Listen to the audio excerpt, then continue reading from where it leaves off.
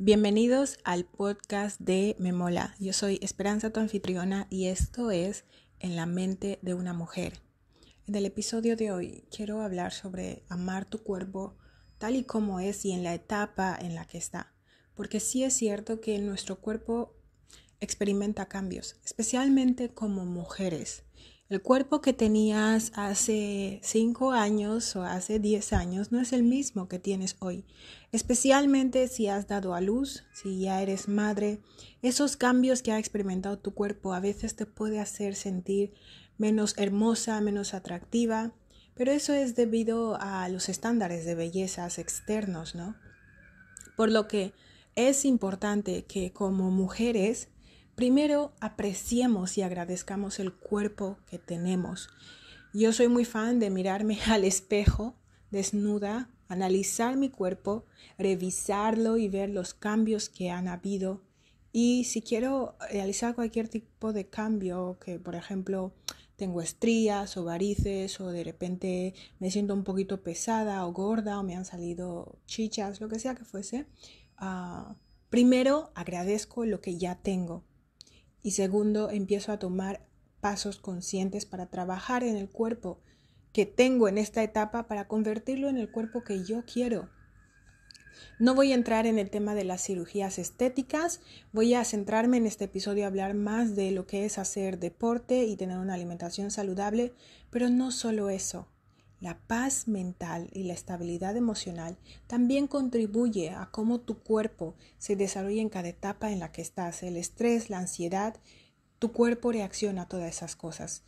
Y es importante que seamos conscientes de ello antes de tomar decisiones drásticas, ah, porque cuando tú hablas mal de tu cuerpo, cuando hablas mal de ti misma, estoy gorda, estoy fea, eh, estoy y, dices y te diriges a ti mismo estas palabras negativas, estas palabras son semillas que siembras en tu subconsciente y tú te ves de esa manera, por lo que tu cuerpo también va a dar el resultado de esas palabras, ¿no?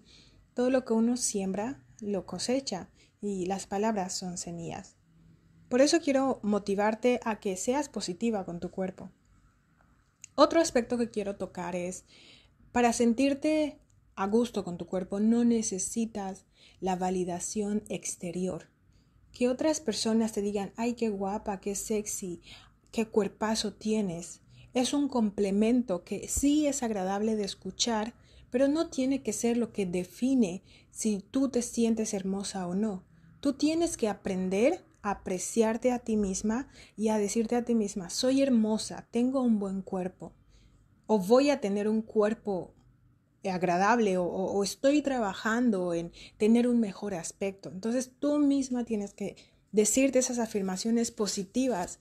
¿Por qué? Porque el querer buscar la validación externa muchas veces nos lleva a postear fotos con ropa interior solamente para obtener un par de me gustas y un par de comentarios que diga, uy, qué buena estás y todas estas cosas.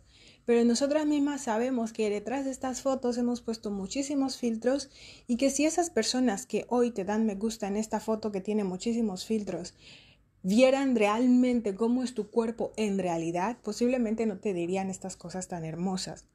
Por eso es importante validarte a ti misma primero y que los complementos positivos que vienen del exterior sean solamente eso, unos complementos que añadan y si las personas pues te dicen cosas negativas de tu cuerpo, tú tienes que tener esas afirmaciones positivas para reforzarte a ti misma. Están hablando del body shaming, que es básicamente avergonzar o hablar mal a las personas que tal vez exponen su cuerpo en las redes sociales y tal. No soy muy partidaria de lo que es el body shaming, porque es como denigrar a otras personas, pero tampoco soy partidaria de eh, exponer tu desnudez simplemente porque necesitas validación. Si hay alguien que tiene que apreciar tu desnudez, eres tú misma. No necesitas que yo te dé un like a tu foto con bikini para que te sientas hermosa. O sea, no tiene ningún sentido para mí. Por lo que sea cual sea la etapa en la que está tu cuerpo, aprende a apreciarlo, a amarlo y trabajar con conciencia para que sea lo que tú quieres que sea. ¿ok? Espero que hayas disfrutado este episodio. Te veo en el siguiente. Yo soy Memola. En Instagram puedes seguirme arroba Memola y en el canal de YouTube es Memola TV. Suscríbete para recibir más vídeos y más eh, episodios como este. Y en este podcast hablamos sobre lo que es la motivación, desarrollo personal, estabilidad financiera, emprendimiento, desarrollo profesional, etcétera, etcétera. Te veo en el siguiente episodio.